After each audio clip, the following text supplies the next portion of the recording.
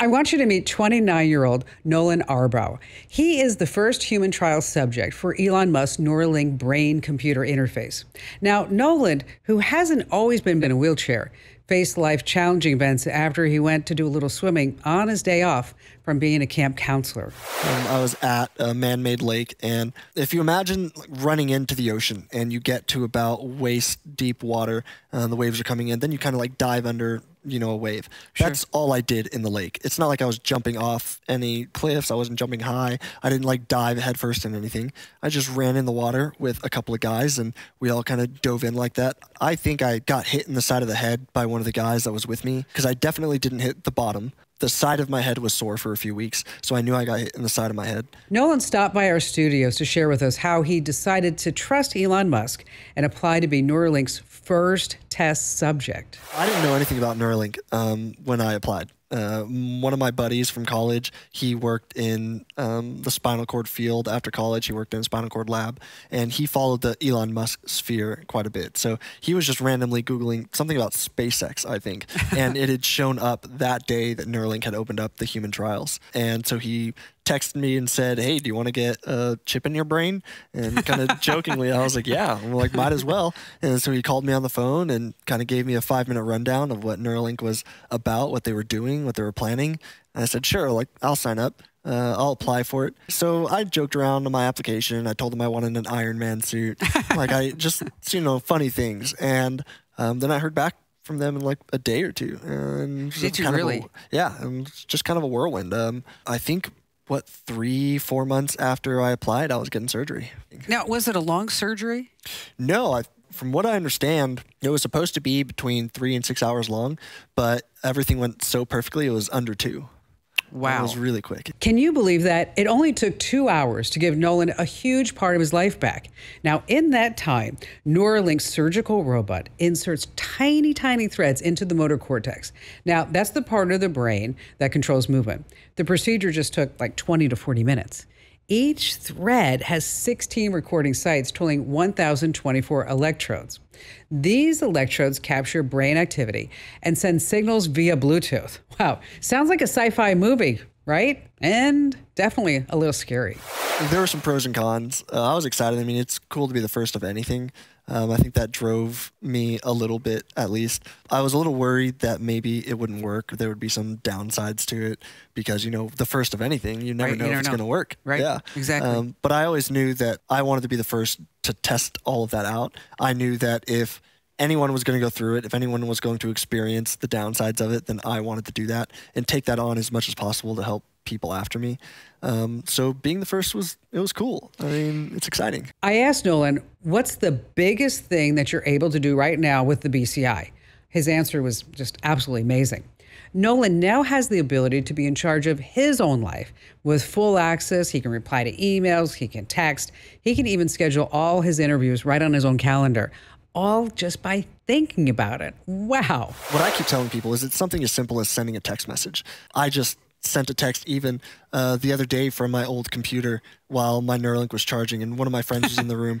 And it took me about 10, 15 minutes to send the text, constant, like, you know, like you were talking about Siri, sometimes understanding what you're trying to say. Right. It just doesn't work. And so it would take me so long to even reply to one person. Now imagine trying to keep in touch with all of my friends, all of my family all the time. It's just not feasible. So now I can send a text in a couple seconds. It's super easy. So, so tell us, how do you how would how do you send a text now? So I do it through the computer. I do it through the app. I have cursor control right now.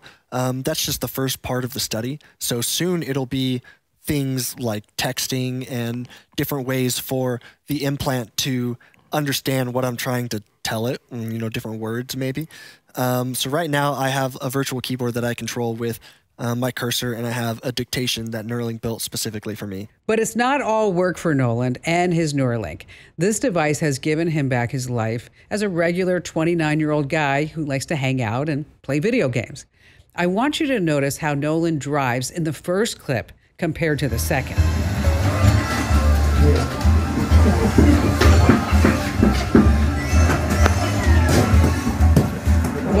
Mean, even in the beginning, what he was able to do with that game, crazy, right? And to think in just a few weeks of practice, and that's where his skill level is, Okay, Neuralink is really, really something. But there are some concerns that have been voiced about Neuralink and its ability to work with AI. But let's hear Noland's perspective. With the Neuralink, he wants to someday, and this is where it gets controversial, is that to blend it with human consciousness Yeah. and AI, Yeah. and which I could totally see that happening. Yeah. I mean, could- can't you? Yeah, I can see it happening. I'm excited for that time. I know a lot of people have a lot of concerns, ethical concerns, things about that. My immediate focus is helping handicapped people. They're like for me, just specifically, it's changed my life so much. It's made me more independent. It's um, helped me feel like I have a purpose and that I'm able to accomplish a lot more that I wasn't able to accomplish before. Yeah, I'm sure it's great for your psyche and Oh, your yeah. Mm. uh, mental health and your emotional well-being that you're able to do some things. Have you made direct requests of them saying, "Okay, Mm. what if it did this? Could it do this?" Yeah, all the time. They're constantly asking my feedback. What would I like to do? Are there things that I can't do now that I wish I could do? Things like different games that I wish I could play and what the gap is um, for them, what they need to do in order to get me there. So I'm constantly telling them things that I would like to do. I mean, I want to like write a book at some point. I I, was going to ask you if you wanted to do that. yeah, I do. I Yeah. I've always been into you know fiction and fantasy, so that was kind of my lane. But with all this going on, I Oh. might as well It's 100%. You're just, Yeah. I mean, because, you know, you're living it. Yeah, exactly. So um, I hope to do that at some point, and we're working with things like sign language fingerspelling right now in uh, in order to get you know the typing to work.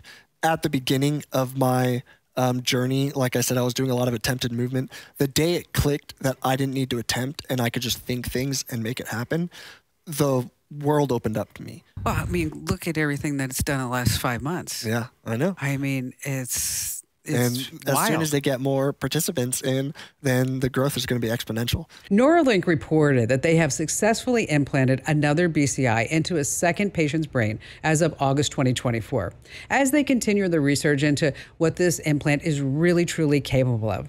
I'm Kim Komando. Thanks for being here. And make sure you subscribe to my YouTube channel and just go ahead, sign up for my free newsletter right here, right here. That's what you need to do. Just sign up for my free newsletter. And uh, again, thanks for watching.